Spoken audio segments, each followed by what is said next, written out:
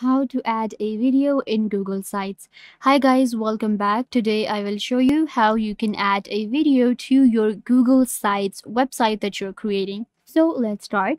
First, what you have to do is you will simply open up your Google website that you're creating on Google Sites. So once you are here, then what you have to do is you will simply go to the insert option right here. And in insert, what you have to do is simply scroll down and you will find the option of YouTube right here. Click on YouTube and now what you have to do is you can either go ahead or upload a video from your computer or your drive or from YouTube or simply go ahead and search a video if you have a URL. So I want to add this video to my website. I will simply right click and get the link for my video and I will go back, simply paste the link here search for the video and there you go.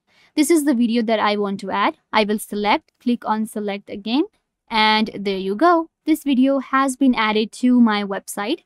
Now all I have to do is simply drag it and place it where I want to add it. And now again, we can simply change the background color or style for the video. And if I want to play it, I can go ahead and play it as well.